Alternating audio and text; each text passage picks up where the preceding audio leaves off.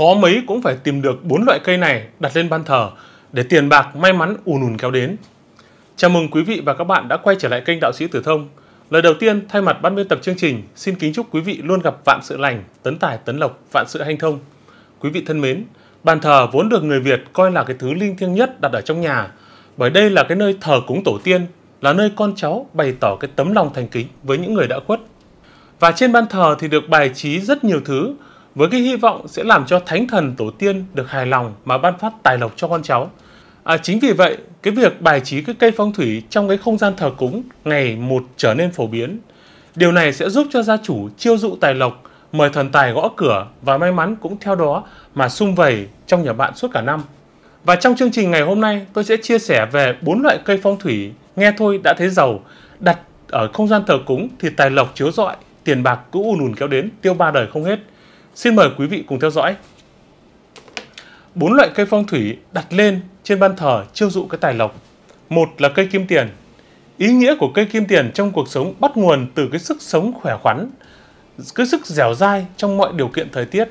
Cây kim tiền thường được mọi người trồng trong nhà với cái mong muốn là đạt được cái sự mạnh mẽ kiên cường bất chấp khó khăn và bất chấp những hoàn cảnh khắc nghiệt để vươn lên từ đó khiến cho con người luôn cảm thấy tràn đầy năng lượng, tràn đầy nhiệt huyết và không bị chán nản, bị nản trí để thực hiện những cái quyết định quan trọng trong cuộc sống.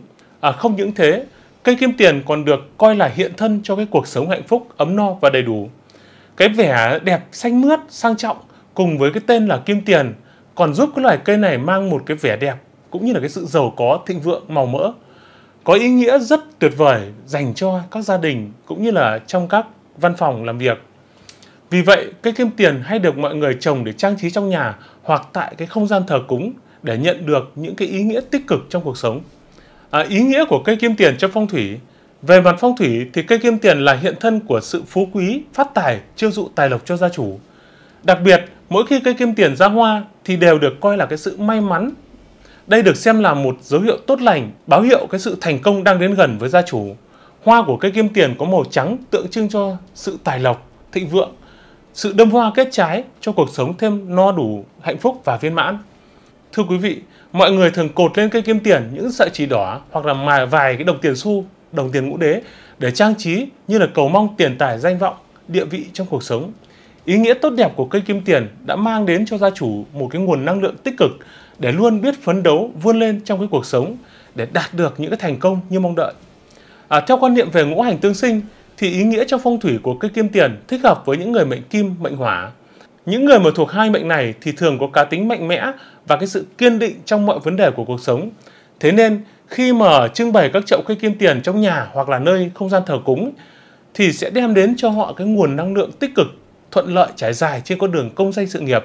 À, thưa quý vị, để chăm sóc cây kim tiền đúng cách thì cái việc tưới nước cho cây kim tiền cũng rất quan trọng.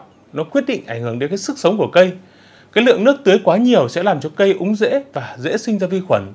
Đặc biệt đối với văn phòng hoặc là những cái không gian thờ cúng hoặc là những cái nơi mà phòng khách thì các bạn hạn chế tối đa tưới nước khoảng một tuần một lần. Và cũng không nên là tưới thẳng trực tiếp vào, mà chúng ta nên dùng bình xịt xịt lên lá cây, thân cây cho cái gì? Nước thấm từ trên lá cây, thân cây bắt đầu xuống xuống rễ đúng không ạ? Đó đó là cây kim tiền, cây tốt lành đầu tiên mà khi chúng ta đặt trong phòng thờ. Cây thứ hai mà chúng ta cũng nên đặt trong phòng thờ đó là cây vạn lộc sẽ giúp gia chủ phát tài phát lộc. À, thưa quý vị, trong phong thủy cây vạn lộc tượng trưng cho cái sự may mắn với cái nhiều màu sắc trên lá thì cây có tác dụng trừ tà, đem lại cái vận may và sự thịnh vượng cho con người. Vừa giúp thanh lọc không khí, vừa chiêu dụ cái tài lộc cho gia chủ. Cái dáng cây thể hiện cái sự mạnh mẽ, tràn ngập cái sức sống và cát tường cho người trồng cây. Cây thích hợp trưng bày ở cái hộ gia đình trong không gian nhỏ hẹp hay là trong phòng thờ, phòng làm việc cây vừa làm sạch không khí, vừa tô điểm cho cái sắc màu, cho cái không gian sống.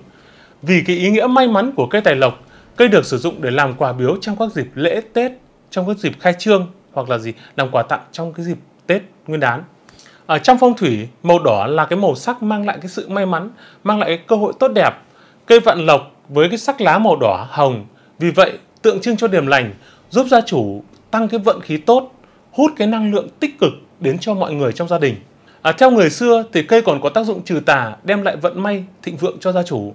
Vậy nên cây có thể bày trí ở vị trí trong phòng khách hoặc là chính giữa phòng làm việc Ngoài ra, đặt cây này trong phòng thờ cũng mang lại cái điều tốt lành trong trong trong cuộc sống.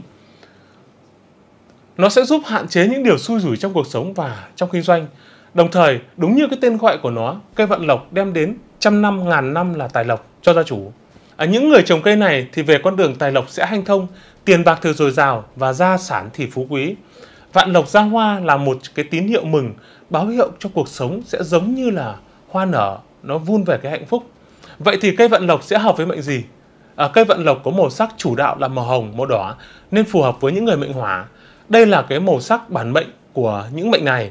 Người mệnh hỏa có tính cách nồng nhiệt, sôi nổi và ấm áp như ánh lửa mùa đông. Họ tự tin và thích dấn thân vào những cái thử thách mạo hiểm, những cái rủi ro để đạt được những cái mục đích như mong muốn. Đường tài vận, công danh của những người mệnh này sẽ rất thuận lợi và êm đẹp nếu như mà trồng một cây vạn lộc ở trong nhà. Nhưng về khía cạnh nào đó, vì quá cuồng nhiệt nên là họ lại hay bốc đồng với đồng nghiệp và bạn bè hay là gì? Hay là với những người thân trong gia đình. Lửa có thể thiêu cháy mọi thứ, làm mọi vật bị lụi tàn. Lửa có thể thiêu hủy tiền bạc, danh vọng của những người mệnh hỏa. Vậy nên những người mệnh hỏa có khả năng kiếm tiền nhưng mà tiêu xài rất hoang phí, dẫn đến lúc nào cũng gì thiếu thốn thiếu thốn về tiền bạc. Cây vận độc là một cây may mắn với những người mệnh hỏa, nó giúp cho thăng tiến hơn trong cái sự nghiệp. Cây đỏ gặp mệnh hỏa là lửa sẽ dưỡng cho những thành viên tạo nên cái sức nóng mãnh liệt, không ai có thể bị kịp. Lưỡng hỏa hỏa diệt nên những người mệnh này khi trồng cây vạn lộc cần phải chú ý chọn cái chậu màu trắng, màu xanh hoặc là gì màu đen để khắc chế bớt cái tính hỏa. Tuy nhiên, nếu màu sắc của chậu cây đã lấn át được và nổi trội hơn cây sẽ phạm phải những điều đại kỵ. Ngoài ra, mệnh hỏa theo ngũ hành tương sinh ấy, thì cái mệnh thổ cũng là khá phù hợp để trồng cây vạn lộc này. Để trồng cây này thì mệnh kim và mệnh mộc tuyệt đối không nên trồng cây vạn lộc vì phạm vào cái điều xung khắc. Riêng với những người mệnh thủy nếu muốn trồng cây này thì phải trồng trong chậu thủy sinh, trang trí thêm một vài cái viên sỏi nữa thì sẽ là phù hợp. Cách chăm sóc cây vạn lộc Cây vạn lộc chịu được cái nhiệt độ ánh sáng tối đa là 50%. Nếu mà vượt ngưỡng thì tình trạng đốm lá sẽ xuất hiện và lá khô, lá héo và dẫn đến gì? Chết cây. Độ ẩm từ 50 đến 70%, cây sẽ sinh trưởng và phát triển tốt nhất. À, khi có sự thay đổi về nhiệt độ đột ngột thì cây sẽ bị căng thẳng dẫn đến là kém phát triển, bị còi cọc. À, cây hút nước mạnh nên là tưới nước mỗi ngày vào cái buổi sáng sớm và buổi chiều, ít nhất là một ngày một lần.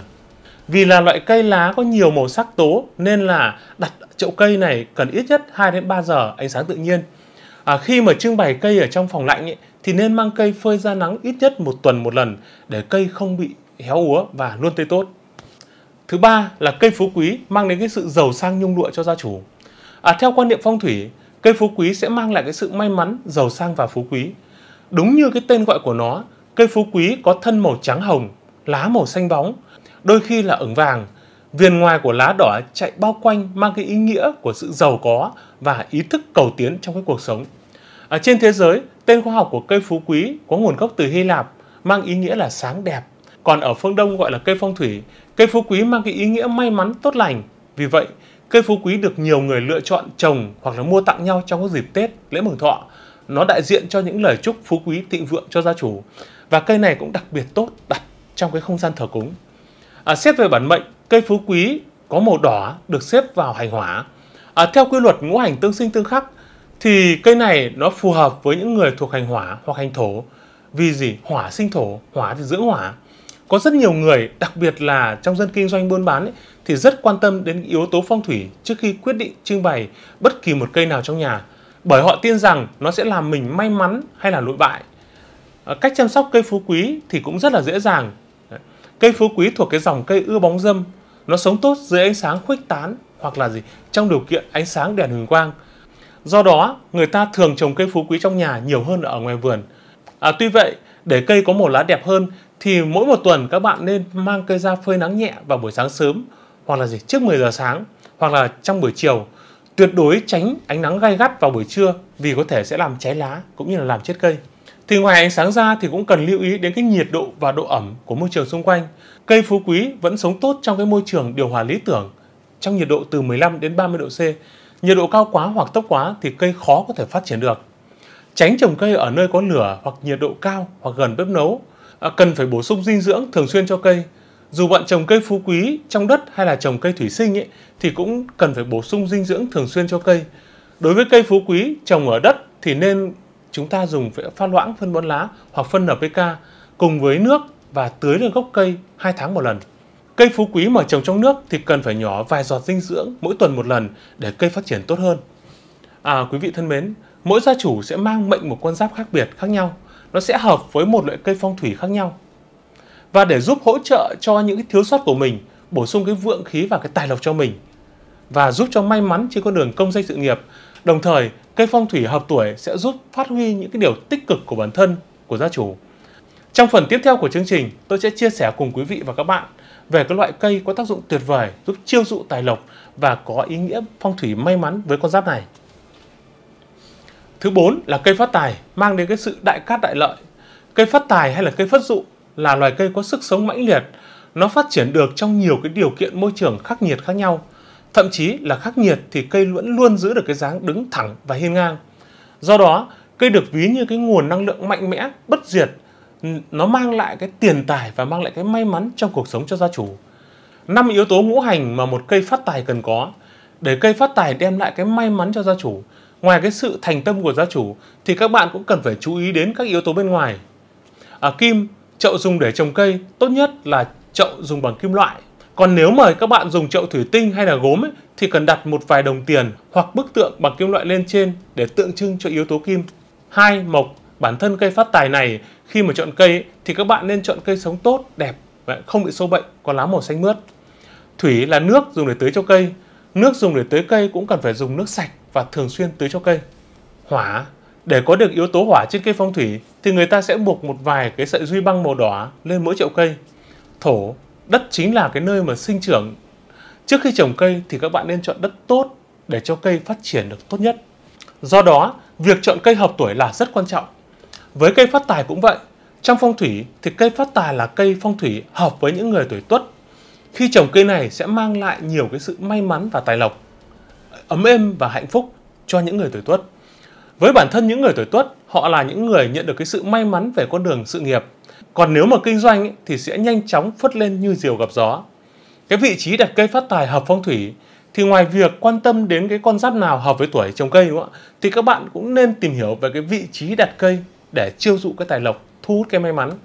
Dẫu biết rằng thành công trong cái cuộc sống chủ yếu dựa vào cái năng lực của bản thân, nhưng vẫn không thể nào thiếu đi một chút cái may mắn và ai cũng mong muốn nhận được cái may mắn đó đến với mình. Với những người làm văn phòng thì người ta sẽ đặt cây ở vị trí bàn làm việc để mỗi ngày ngắm cây họ sẽ tin hơn vào những điều may mắn đang ở cạnh mình. À cũng có những gia chủ đặt cây ở cái hành lang ở trong phòng khách ở nơi trung tâm của ngôi nhà để thu hút cái sự may mắn về cho các thành viên trong ngôi nhà của mình. Một gợi ý là khi mà lựa chọn đặt cây ấy, thì các bạn nên đặt cây ở hướng đông nam bởi theo phong thủy cây thuộc hành mộc nếu mà đặt ở hướng này thì sẽ giúp cho gia chủ mang lại những cái may mắn, mang lại cái bình yên cho không gian và từ đó sẽ thu hút được cái tài lộc, thu hút được cái tiền bạc đến với quý vị. À, giúp cho tinh thần của gia chủ luôn được thư thái, thoải mái và cái năng lượng sẽ được tích cực dồi dào hơn. Còn khi bạn đặt cây ở hướng bắc thì nó cũng sẽ giúp cho cuộc sống, cho công việc của các bạn gặp nhiều may mắn, nhiều suôn sẻ. Cây này thì không thích hợp trồng ở hướng Tây hoặc là hướng Tây Nam. Các bạn nên đặt cây ở vị trí thoáng mát, nơi có nhiều ánh sáng tự nhiên. À, tuy nhiên, các bạn không nên để đặt cây có ở nơi có quá nhiều ánh sáng hoặc là những nơi mà ánh sáng mặt trời chói rọi vào trực tiếp. Đó, nó sẽ làm cho cây bị héo úa. Nên là cần phải tránh đặt ở những nơi này. À, bên cạnh đó các bạn cũng không nên đặt cây này ở những cái vị trí nó bị bẩn bụi đúng không ạ bị ẩm mốc hoặc là những vị trí ô uế thì cũng không nên đặt à, thưa quý vị cái việc trồng cây phong thủy là một bí quyết quan trọng để cho ngôi nhà của các bạn ngập tràn cái vượng khí và may mắn tài lộc thì cứ ùn ùn kéo đến giúp cho các bạn có được cái tâm trạng tích cực và luôn sẵn sàng chinh phục những cái thử thách trên con đường công danh sự nghiệp trên con đường làm giàu của mình cảm ơn quý vị và các bạn đã quan tâm theo dõi Quý vị đừng quên đăng ký kênh và nhấn vào chuông thông báo để ủng hộ cho chương trình. Còn bây giờ xin chào và hẹn gặp lại các bạn trong những video tiếp theo. À, xin cảm ơn.